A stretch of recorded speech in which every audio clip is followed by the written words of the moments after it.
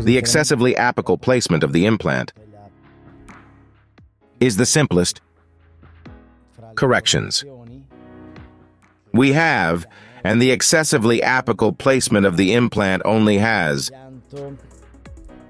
as negative aspect the length of the transmucosal pathway that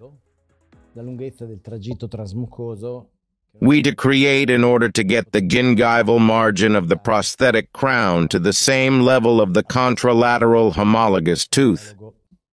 How?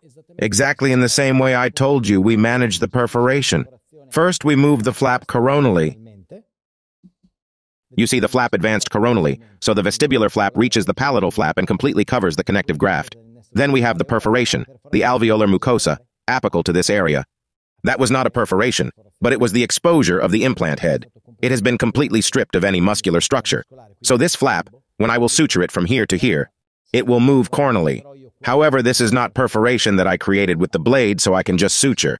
It's a perforation that was created with the exposure of the implant head, so it's all reepithelialized, so I have to take the microsurgery scissors.